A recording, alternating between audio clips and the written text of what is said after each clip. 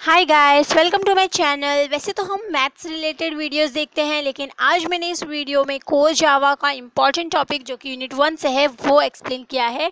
तो चलिए शुरू करते हैं। सबसे पहले हमारा कोर्स नेम जो है, वो है कोर जावा जो कि हमारा S Y B S C I T sem four का सब्जेक्ट है। तो यहाँ पर हम यूनिट वन के टॉपिक्स देखने वाले हैं। फ़र्स्ट ऑफ़ ऑल मैंने यहाँ पर ऑलरेडी दिया हुआ है important topics to study Java run time environment Java virtual machine Java API and Java components तो यहाँ पे मैंने कुछ टर्म्स दिए हैं and the primitive data types ये बहुत ही इंपॉर्टेंट क्वेश्चन है तो प्लीज़ ये करके जाइए। सबसे पहले, अब मैंने यहाँ पर लाइन वाइज जावा कंपोनेंट्स के डेफिनेशंस एंड अच्छे से पूरा एग्जाम्पल्स के साथ सब दिया है तो आप इसे रिफ़र कर सकते हैं।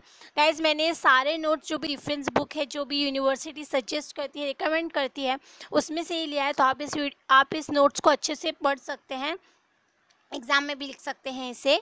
तो वैसे मैंने जो रेफरेंस बुक से लिया है वो वैशाली शाह एंड शर्मन शाह का है, जो कि बहुत ही पॉपुलर है एंड कोर जावा बिगनर्स के लिए बहुत ही इजी है। तो आप प्लीज़ इसे अच्छे से समझिए वीडियो पॉज करके आप ये सारे नोट्स देख लीजिए। मैं सारे नोट्स इसे रीड नहीं करी क्योंकि मैंने ऑलरेडी इधर दिया हुआ है। मैं जस्ट शॉर्ट में इसे बताना चाहती हूँ।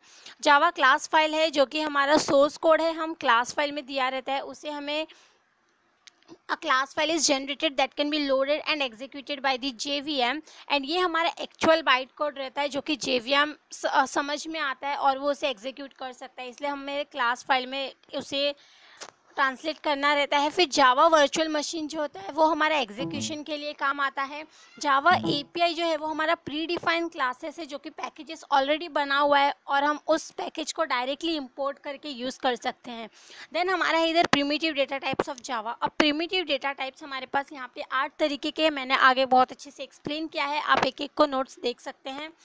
मैं शॉर्टली यहाँ पे बताना चाहती हूँ कि डेटा टाइप्स वो होते हैं, जो भी हमारा डेटा है, वो कैसे टाइप का है, वो उसमें स्टोर होता है, कैसे वैल्यू स्टोर होते हैं, वैसे अकॉर्डिंगली क्लासिफाइड किया हुआ है।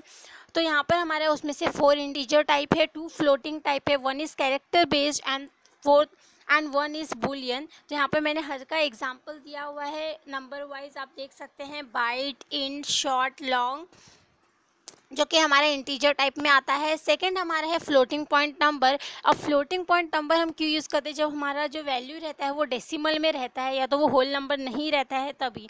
इसमें हमारे पास एक डबल है और एक फ्लोट है।